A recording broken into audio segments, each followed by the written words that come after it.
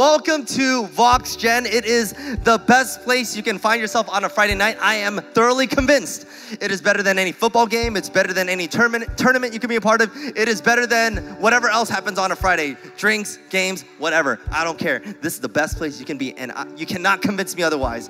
But we are in a series. We are in week three of our sermon series called Altars. Everyone say altars. And in this series, we are talking about what it require, what is required to follow Jesus. What does it look like to be followers of Christ, to lay things down at the altar? And we've been breaking down this idea of what an altar looks like, and it's a place where things go to die.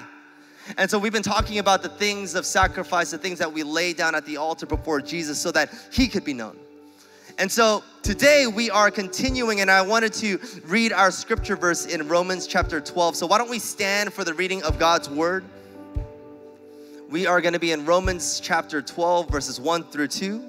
And then I'm going to flip to Genesis 6, 13 to 14. You guys ready? All right, here we go. Romans chapter 12, 1 through 2 says this I appeal to you, therefore, brothers, by the mercies of God, to present your bodies as a living sacrifice, holy and acceptable to God, which is your spiritual worship.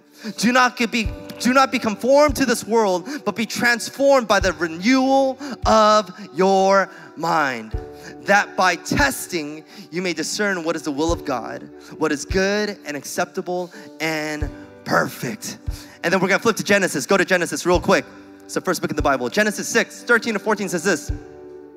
And God said to Noah, I have determined to make an end of all flesh, for the earth is filled with violence, the violence the, through them. Behold, I will destroy them with the earth.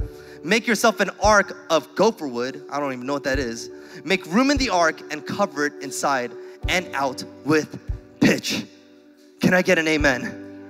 And today I wanted to ask the question as believers in Jesus, why does it always seem like we're going through difficult seasons? Why does it feel like as believers things are always hard? Could I get an amen? Put your hands down. And I wanted to answer this question with a message I'm entitling By Testing. Look at your neighbor and say, By Testing. Awesome. Let's pray. Holy Spirit, do what only you can do. We come expectant for your word to minister to your people today. And so we align ourselves with what you have to say, and it's in your son's mighty name. We pray all God's people said, Amen. Go ahead and find yourself. Go ahead and take your seats, look your neighbor, and say, What's good? What's good? Amazing, amazing, amazing. How many of us in here um, likes taking tests? No, no, no, no. All right, now be honest. I'm gonna ask another question. How many of us in here have ever cheated on a test? Uh, all the private school people like, I don't know about that. I didn't know I'm cheating. Um, but for me, in sophomore year, I took my first AP class. Bad idea. I took AP Euro. I don't know what I was thinking. My friends were taking it, so I was just like, you know what? I'm not that dumb. I can take AP Euro. So I took it. I signed up. I signed up and I found out really quickly this is the worst decision I could ever make. And I remember I was sitting in the class. My teacher's name was Mr. Armstrong, a great teacher. And he said on the first day of class, here's your homework, read pages 1 through 40. And I was like, hello? 1 through 40? What you talking about? Right? That's crazy. That's crazy talk, right? And so I go home slightly excited, little, you know, like up for the challenge. And if you guys know anything about the AP Euro book, it's like it's like fatter than the Bible it's like bigger than the Bible, and it's like 8.5 font size, and you're just like reading through the thing, right? And for me, if you don't know me, my reading comprehension level is like at first grade level. It's bad. And so I was reading this, I kid you not, I can remember this from like just trauma, but I would read the same paragraph over and over and over, not to memorize it, I'm just trying to understand. I'm just trying to understand what in the world is happening in Europe, right? This is crazy. What's going on here? And so I would just read it over and over. And I was just like, I don't know if this is for me. I don't know if school is for me. And so we get into the school year, and I remember the first test is coming up, right? And um, first test is coming up. I'm super nervous. It's like 150 pages that we're being tested on, and I'm just like, Lord, have your way, right? Lord, have your way. And so obviously, I um, study diligently. I wait till the night before. I don't start studying till 10 p.m. I study from 10 p.m. to about 4 a.m. I see the rooster crow, and then I get and I and I go to school. I get my Scantron that I had to pay for, and then I sit down. I take the test, and I'm gonna be honest, as soon as I submitted, I was like, I failed that test, right? Immediately, I was just like, I failed, right? And all your Asian friends are just like, How did you do? How did you do? And I'm just like, be quiet, right? All of them feel all confident. I'm just like, man, I failed that test for sure. But as Christians, sometimes we're like, I think I failed, but maybe God just erased some answers and gave me an A. You know what I mean? I'm just like, God, please. I got an F, I failed, right? I failed. So, after failing, I, I had an idea. I was like, okay, if I'm gonna fail and if I put in my hundred ish percent effort, maybe next time I'm gonna require some assistance. And so what I did was on the next test, I was a little smarter. I wore a oversized jacket, a zip up hoodie. I zipped it up just about halfway. I slouched so that there's a little pocket, and then I put my answers right here. I put it right there, right? And so I'm slouching and I'm just like looking at the answers, right? Here's the problem. The thing about history is that you cannot fit it all in a small piece of paper. You cannot fit it. And I'm trying to read, I'm just like, Louis the seventh, what happened here, right? And I'm just like, Lord Jesus, please, right? As I'm cheating on the test, like, Lord Jesus, please, have your way, right? I failed that test. I failed it. And so I was just like, okay, I already cheated, so might as well dig in a little bit deeper. And so I was thinking, all right, how can I create a cheating ecosystem so that I can get the answers to the test? How can I do this, right? So this is this is not made up. What I did was there was obviously like there was like zero period to six period, right? So my goal was I'm gonna figure out who's in zero to first period, and I'm gonna get the test early. Right? I'm gonna have my friends take a picture of the test. I'm gonna have them send it to me. I'm gonna practice and memorize the answers. And in exchange, I'll give them the answers or the test to another AP class. So there was this ecosystem that was happening. In the morning, they will give us this, and then in exchange, we'll give them another test, right? Guess what? I passed the next test. It was crazy. No, no, no, you shouldn't be clapping. This is clapping. But my teacher caught on real quick. He's really smart. He caught on really quick, and then all of a sudden, now there's like five different versions. There's like A, B, C, D, E, F, G version. And then I tried it again. Guess what? I failed, right? I got the test, and I got the picture of the second test and I looked at it and I was like, wait a second, this is completely different from what my friend sent me. I got scammed. There were so many things that were happening in that class. It was wild. And so at the end of the year, after many failed attempts, after cheating over and over countless times, trying to study, being caught, I even got caught by my teacher. That's how good of a teacher was. He would catch me cheating and he would be like, he's gonna fail anyways, I'm just gonna let him cheat, right? Like that, that was just like, you know what, Ben, you can cheat anyways. He's the type of guy that like sits on your desk as he's talking to you, you're just like, I hate you, right? But he was a good teacher. And so the reason why I share this is that when you look at my year in AP Euro and you look at my test scores and the tests that I've been through, it's clear I am not a historian. I'm just not. It's clear from everything that I've been through that through that, that year. It's Ben is not a historian. I don't even know if he's a student, right? I don't even know if he's smart, but for sure he is not a historian. And I shared because the test brings validity to the title. The test that you go through will always bring validity to the title. What does that mean? There are only 273 wine experts in the world, and they're called master sommeliers. And what makes master sommeliers master sommeliers is that they have to go through rigorous testing. They have to have a historical knowledge in different languages, and they have to have a taste test of four different cups of two white, two red. They have to know which hill it was founded on, what kind of grape it is, the acidity level, all these different thoughts. They're literally just like, yeah, that's from that hill, acidity level 14%. Mm, it's from this region, blah, blah, blah. All this stuff, right? I'm just like, this is crazy. It's wild. There's only 273 people, but it's the test that brings validity to the title.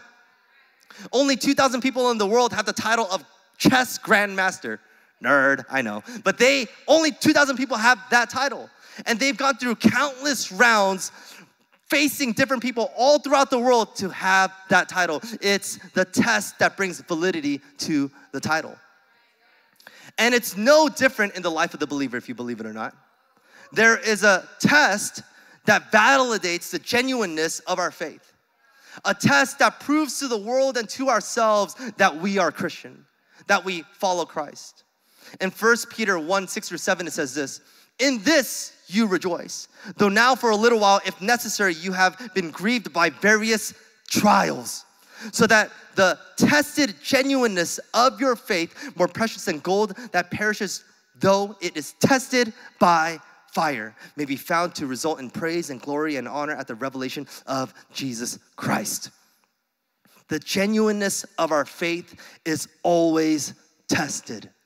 It's always tested. So when we read Noah in Genesis 6, you bet he was given a test. It's a crazy test. We'll read it again. And God said to Noah, I have determined to make an end to of all flesh, and for the earth is filled with violence through them. Behold, I will destroy them with the earth. Make yourself an ark of gopher wood, make your rooms in the ark, and cover it inside and out with pitch. Now, I don't know about you, but if God said that to me, if I woke up at 3 a.m. and I just get in my prayer closet and I'm just praying to God, and He's just speaking to me, and He says, Ben, I'm gonna destroy the world. I'm gonna destroy the world. It's wicked. And guess what? You're gonna create a boat, right? I'll first of all be like, God, is that you? right? Like, God, is that you? You know how, like, when you feel like God says something to you, but you're not too sure? Where you're in that toxic relationship and God whispers to you, break up with that boy, and you're just like, God, is that you? I'm not too sure, right? No, no, no. If you feel convicted, that's the Holy Spirit. But back to Noah, back to Noah, back to Noah. So let me get this right. You're gonna destroy the world and you want me to build a boat? God, I can barely hang a picture on the wall and you want me to build a boat, God. And for context, this isn't just an ordinary 10 foot boat, it's 450 foot long. I had to look up what 450 feet even looks like because I couldn't even comprehend what that is. It's the size of a modern day cargo ship. You know those cargo ships that have all of those steel containers on them? That's 450 feet. That's wild. So if God told that to me, I'd be like, hmm, okay. But it's not even the physical labor. There's the physical labor of it, but that's not what I'm, what I'm worried about, God. God, people are gonna think I lost my mind. God, it barely rains here in California and you want me to build a boat? God, I'm gonna lose friends in the process. And if I'm being honest, I've never seen a flood before. That's a new word for me, God. I don't even know what that is. It's a new word. God's got a new thing for you. It's called the flood. Um, but it's through these various trials that the genuineness of Noah's faith was being built. Noah hears a word from God and puts his hands to immediate work. And that's what faith looks like. It looks like, God, I, I may not know the whole picture, I may not know the next step, but I'm gonna trust and align myself with what you have to say. I'm gonna set aside my opinions and my worldviews and align myself to what your word says. So when your word says that marriage is between man and woman, God, I do not care what my friends say. I don't care what my professors say. I don't care what my teachers say. I'm gonna align myself to what you have to say. God, if you say in your word, sex is for marriage and marriage alone, God, I'm gonna set aside my preferences and save it for the wedding space. Faith is not just believing what Jesus said, but committing our lives to all that He says. You can't just pick and choose the parts of the Bible that you want. It's either all true or it's not. Jesus either died on the cross and forgiven your sins or he didn't. And that's the test to not only stand with Christ in life, but also in his rejection, in his shame, his suffering and death. And so if you're a believer, this is for you. Galatians 2:20 it says this. I have been crucified with Christ. It is no longer I who lives, but Christ who lives in me. That means this life is no longer about you. You are not the main character. I'm sorry, like you're just not it. But it's about Christ being known. It says this, and the life I now live, I live by what? Faith in the Son of God who loved me and gave himself up for me. So, how do I live by faith? All of this sounds amazing. How do I live by faith? Somebody help me. And here's the good news God knows how to engage your faith. God knows how to draw you closer to Him. God knows how, God knows what ticks your mind to activate your faith. And He will provide tests in your life to engage and to stir up your faith. Noah, building a boat, engaged his faith. For Abraham, putting his son on the altar to be sacrificed, engaged his faith. For Rahab, she was hiding the spies. That is something that engaged her faith. For the bleeding woman that has been ostracized for years, for her just groveling on the ground just to reach the hem of his garment, activated her faith. And each one of these characters in the Bible had to make a decision. They had to cling to what God said, despite what the societal pressures and what the culture said about them in their world.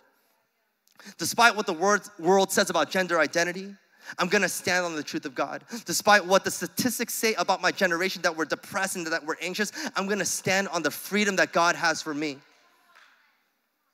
So, how is God engaging your faith today? Maybe it's a test of boldness among your friends to preach the word of God to people that do not know it. Maybe it's a test of moving towards the people that are lonely within your school, that one person that like has no friends and you've seen them over and over. The Holy Spirit is convicting you, but you're just like, God, I just want to hang out with my friends, right? Maybe it's that. Maybe it's the test of deciding to go to church on a Friday while your friends are out partying. Hello, you guys are in the right place. Bless you guys. For the rest of your friends, we'll pray for them after. I don't know what it looks like for you, but God is calling us to activate and to engage our faith. We are not called to be a generation, or we are not called to be a people of God that moves from one craving to the next. That where we stay in social media and we're swiping from one entertainment to the next. We're not called to go from hobby to hobby, to go from job to job, to promotion to promotion. We are not called to go from friends to friends, project to project, relationship to relationship, searching and seeking for the next dose. That is not how God has wired us as sons and daughters. It says this in James 1 2 to 4. Count it all joy, my brothers, when you meet what? Trials of various kinds. For you know that the what? Testing of your faith produces steadfastness. And let steadfastness have its full effect that you may be perfect and complete, lacking in nothing. The testing of your faith produces a steadfastness, a steadiness to our lives. So we learned in Romans 12 that it's in the testing of our faith where we can discern the will of God. In 1 Peter 1, that it's by the testing that the genuineness of our faith is revealed. And in James 1, that the testing of our faith that produces a steadiness to our lives. So, I don't know about you, but when I hear all of the benefits of testing, I'm thinking, God, put me through the test. I want the benefit, I want it all. Put me through it. God, I don't care. Like, just put me through the test. I want the benefits of what it goes through, of going through the test. And I think this is it, where we need to have the heart of David. All jokes aside, where David says in Psalm 139 Search me and know my heart. Test me and know my anxious thoughts. See if there's any offensive way in me and lead me in the way everlasting. We need a generation that says, I don't care if I'll be embarrassed. We need a generation that says, I don't care if there's something I need to surrender. I don't care if I'll lose some friends in the process. I don't care if it doesn't look like the most optimal solution. I don't care because God, you're the only thing I care about. Test me and know me. So I'm going back to the original question as believers in Jesus, why does it seem like I'm always going through difficult seasons? And I'll end with this Bible verse in James 1 12 through 15. Blessed is a man who remains steadfast under trial. For when he has stood the test, he will receive the crown of life, which God has promised to those who what? Those who love him. What does this mean? Tests are only for sons and daughters. If you're going through a test right now that requires for you to cling onto Jesus, there's a good chance you're part of the family. And the test is not to destroy you, it's to build you up, it's to build your faith. It's to prove to ourselves and prove to the world that Jesus is our joy and Jesus is our love. It's laying down our lives so that Jesus would be magnified. And today can be your turning point where you decide that I want to be counted among the saints. Today, I'm willing to lay down everything on the altar and align myself with the truth of God. Today, I want to be known by Jesus and I want Jesus to be known.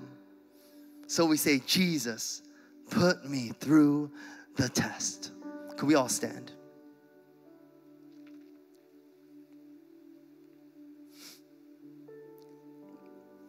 Like I said, we're about to do some ministry. And I do believe that God wants to free some of us from the expectations of our friends and maybe even some of our parents. And so, um, man, I just believe that the Holy Spirit is just stirring our hearts. I believe that as the word was going forth, that there is a stirring in our hearts for the things of God that you know that there's some things that we need to give onto God. There's some tests that we need to go through that God has ordained in our lives so that we could be closer to Him. And I believe that the Holy Spirit is revealing those things. And so I'm gonna read these two verses. In Romans 10 17, it says so faith comes from hearing and hearing through the word of Christ. And in James 1 22, 23, it says this, but be doers of the word, not hearers only. And I share this because it can't just be something that lives in our mind, but it requires action. Love requires action. When we fall in love with Jesus, we just shift our lives because we fall more and more in love with Him. And so, why don't we all close our eyes?